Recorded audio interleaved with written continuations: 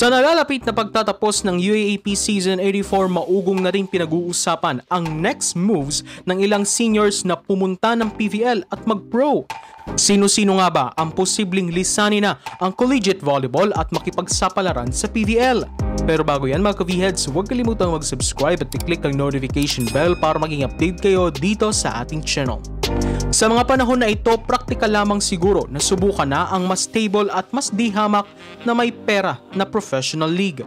Kaya naman maraming senior players ngayon ang di umano unsure kung itutuloy pa nila ang last playing year nila sa UAAP Season 85 o pupunta na ng pro.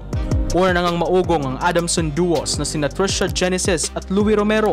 Ang dalawang ito ay magagraduate na this year sa Adamson at posible nang hindi ituloy ang huling taon kasamang Lady Falcons sa UAAP.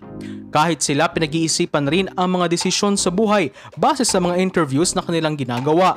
Di rin naman kasi malayo na maraming teams na ang nag-o-offer sa kanila lalo pa ang bagong Akari team na gusto umano ay mga Adamson players and alumnus. Ganon din si UST Captain Aya Laure na di naman lingid sa ating kaalaman na parati lamang naghihintay sa kanyang pagpunta ng pro ang Cherry Tigo Crossovers. 2019 pa, noong photon pa lang ay eh, kinukuha na si Eya ng team na ito at sa katunayan naglaro na rin ito kasama ng team noon sa PSL Invitational Conference. Pwede na rin kasi bitawan ni Eya ang huling playing year sa Uste since siya ay nagsimula pa noong season 81.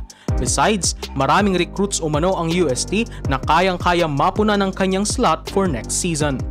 Sa mga Ateneo seniors din, maaaring tumanggap na ang mga ito ng professional offers. Sina Gandler at Ravenna nga for example ay maaari nang lumipat sa PVL kung gugustuhin nila. May bagong team at may mga teams na naghahanap ng dagdag alas na pwede silang kuhanin at bayaran ng higit sa nakukuha nila sa Ateneo. Muli yan ay mga usap-usapan lamang at hintayin pa rin natin ang kanilang desisyon. Pero kung ano man ang kanilang maging hatol, eh labas na tayo mga fans doon dahil buhay at kabuhayan ang kanilang inaalagaan. Hindi masama ang lumipat ng pro lalo pa ngayong mga panahon. Di hamak naman kasi na mas stable at mas alam mong makakalaro ka sa pro kaysa sa college na minsan ay sinususpinde o tinitigil pa dahil sa pandemya. Sa professional, hindi ganun kahaba ang season, hindi mahigpit ang patakaran at higit sa lahat, di hamak na mas may pera sa nasabing liga.